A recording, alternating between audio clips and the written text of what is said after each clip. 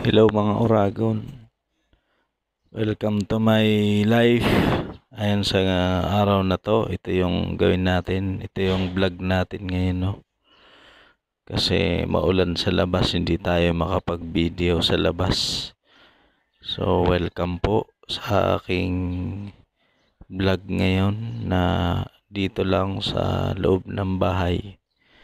So, nakikita nyo naman, no, yung iba-vlog natin ang sabi ng News 5, kaya mo bang hulihin si Tanggol? Teka lang, paano ba? Ah, ito, ito. Subukan natin ang galing mo kapatid. Hulihin mo si Tanggol o Martin sa pamamagitan ng pag-screenshot sa GF. Okay, sige. Subukan natin ano kayang premyo natin kapag nahuli natin to si Tanggol? Na makapasok dyan sa may anong yan? Di, paano ba natin sasabihin yan? Yan sa dating original. Sige hulihin natin si Tanggol ha? Uh, try natin lima kung mahuhuli natin siya. Uh, itong una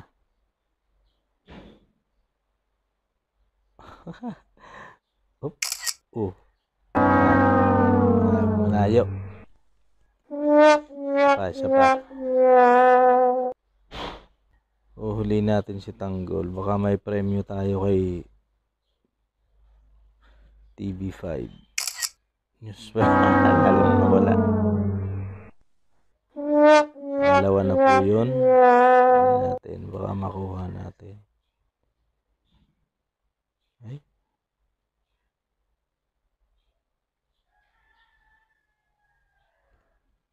Pag lumagpas siya dyan, tsaka natin i-screenshot. Uh! Wala. mali, mali. Ibig sabihin, dito. Uh!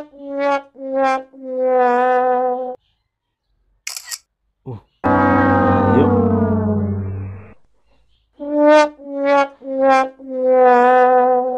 Uh! Yeah! Nahuli ko, nahuli okay. Yan. I-post na natin to mga oragong Bicolano. Okay guys, punta tayo dun sa may ano no, sa may screenshots. Titignan natin, i-check natin. Ayan, buksan natin sa screenshots. So, yan, ito yung una o yung unang screenshot. Ito yung pangalawa. Ito yung pangatlo, wala pa rin. Ito yung pang-apat. At ito yung panlima. Yan. Yon pumasok na si Coco Martin sa puzzle. Yan, TV5. Yung premyo ko, pakikli kailan ko makikiklaim? Bye-bye guys. Thank you for watching. Antayin ko na lang yung premyo ng TV5 at ni Coco Martin. Tanggol! Yung premyo ko dyan ha.